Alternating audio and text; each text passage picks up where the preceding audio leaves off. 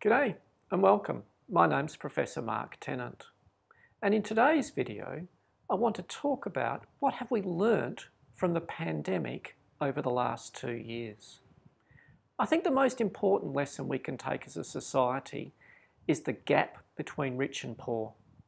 That gap is significant, it's damaging to our society, and it has seen people in poverty suffer far greater effects from the pandemic. I think we should also learn about science education and health literacy. What we have seen over the last two years is a real paucity in our education as a population about how to understand science, scientific method, and health literacy, particularly public health. The next thing I think we should learn from the last two years is our civil defence and our resilience. We have been left wanting as a nation.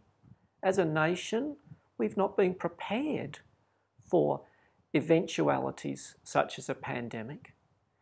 And I also want to raise the issue of what historically has been called fat in our public systems, in particular our health systems we have cut and cut and cut to lean down these systems.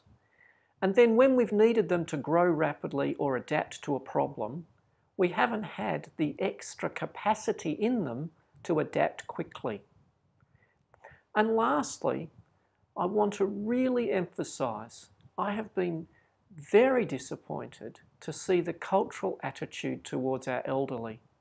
Our elderly are the holders of wisdom our elderly have a right to a long and prosperous life, irrespective of their comorbidities.